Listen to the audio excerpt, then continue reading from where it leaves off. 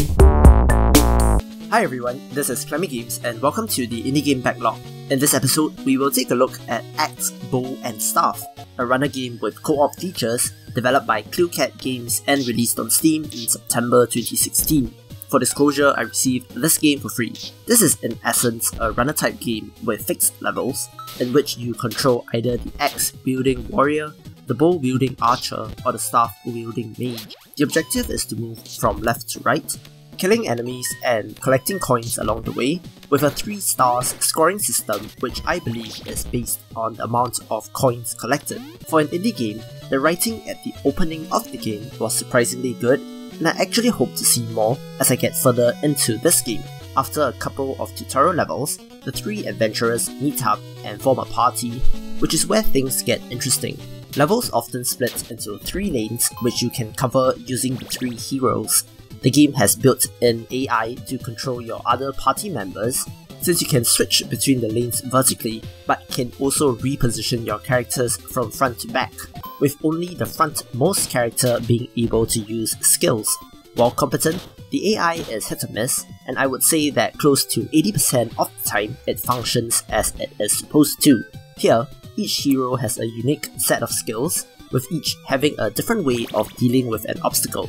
For example, the warrior can simply chop down bushes and break open barrels, while the secondary ability is a block, which can stop enemy projectiles. The archer on the other hand has a ranged attack, but arrows are unable to destroy bushes or barrels. Rather, the secondary ability here is to jump, and the character can jump over obstacles and even enemy projectiles. Finally, for the mage, the abilities here are perhaps the most unique ones in the game.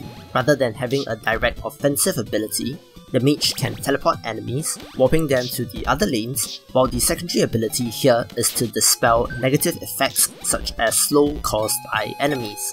In runner game fashion, if you are stuck behind an obstacle while the screen scrolls on, that character is temporarily eliminated from play. Also, if a character's HP falls to zero due to enemy attacks or traps, this too causes their elimination. Thankfully, there are a number of checkpoints in each level, each refilling the health of all characters and also reviving any that may have been eliminated, so the experience here was not too frustrating. The game does reward you for collecting the power up, which increases your speed, but due to the levels being filled with traps and gates and switches, and all sorts of hazards and obstacles at higher speeds with 3 lanes and 3 characters to keep track of, this can be quite a challenge. There are also various gems that drop from defeated enemies, which charge the energy bar, which, when full, can be activated to trigger a super dash, clearing all enemies and hazards for a short duration. There are also interesting shakeups to the formula, such as bridges making up lanes which you cannot switch between, as well as a number of boss fights which were unique and featured their own mechanics and attack patterns. As for the coins collected, these can eventually be used to purchase items from a shop, including gear upgrades which increase your character's damage, health, or other stats, as well as consumables like health potions. There is even a crafting system of swords, which lets you upgrade existing accessories through materials found in the levels or bought from the shop. This system provides a nice sense of progression since all coins collected could be put towards making your characters better.